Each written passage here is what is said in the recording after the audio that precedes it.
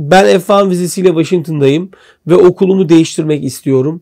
Buradaki okulum Türkiye'ye giriş çıkış yapmalısın diyor.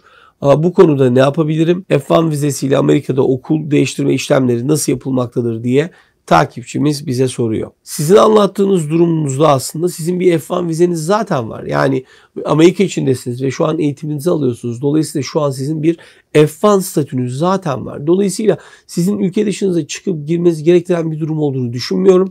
Sizin yapmanız gereken eğer yeni bir okul bulduysanız o okulla görüşeceksiniz ve okuldan sizin şu anki okulunuzdan transfer talebi yapmasını isteyeceksiniz ve dolayısıyla transfer işlemini başlatacaksınız. Yalnız bir tavsiyem bu transfer işlemini yaparken e, farkındaysanız göçmenlik dairesiyle bir işiniz yok sizin. Çünkü zaten F1'ınız var, öğrenci vizeniz var, statünüz var. Dolayısıyla sizin yapacağınız şu an gittiğiniz okulla yeni okul arasındaki iletişimi doğru kurdurup yeni okula da sizin I-20'ninizin transferi onaylandıktan sonra ancak geçiş yapın. Çünkü var olan okulunuzdaki statünüzü kesinlikle ihlal etmeyin ve ondan dolayı da statünüzü kaybetme riskiyle karşı karşıya kalmayın. Eğer bir sorun oluşur da kaybederseniz maalesef o zaman problem yaşayacaksınız.